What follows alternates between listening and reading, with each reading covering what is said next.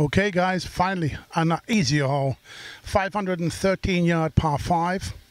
Uh, tee shot, I, I suggest a little left of the center bunker there. They have a bunker in the middle.